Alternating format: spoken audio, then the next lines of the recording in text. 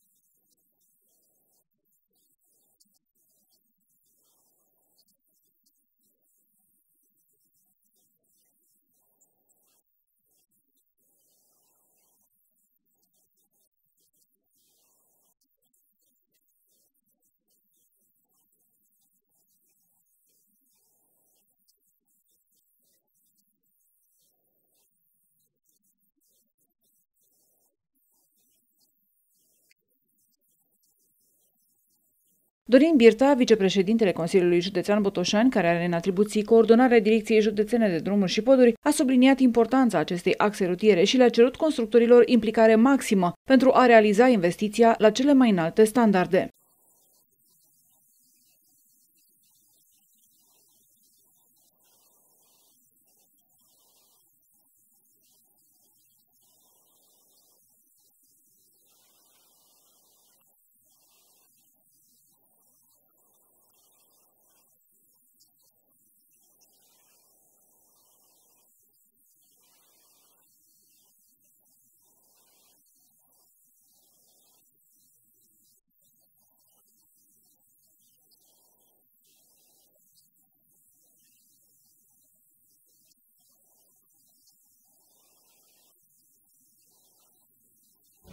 În acest context, Doina Federovici a solicitat constructorului să abordeze lucrarea concomitent din mai multe puncte. Reprezentantul asocierii care va realiza cei peste 50 de kilometri de drum a afirmat că va împărți lotul 2 în trei sectoare, iar lucrările vor începe concomitent la Hănești, Trușești și Răuseni.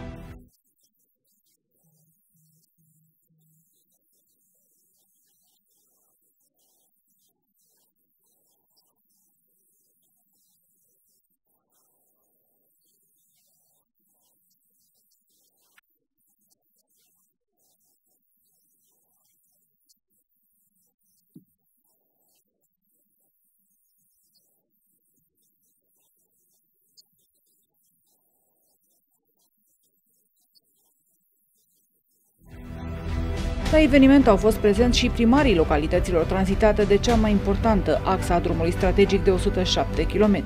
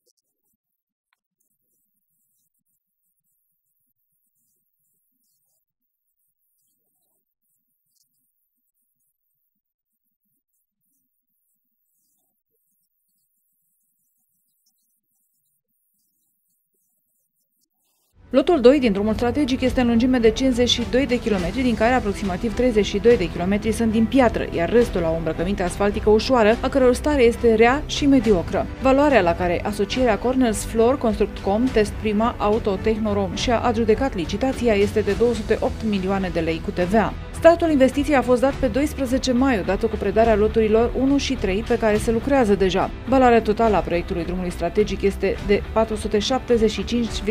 milioane de lei, o treime din această sumă fiind suportată de Consiliul Județean. Aceasta este cea mai importantă lucrare de infrastructură rutieră din nordul țării pentru că va face legătura dintre granița de nord a României cu Republica Moldova și Ucraina cu restul țării prin județul Iași.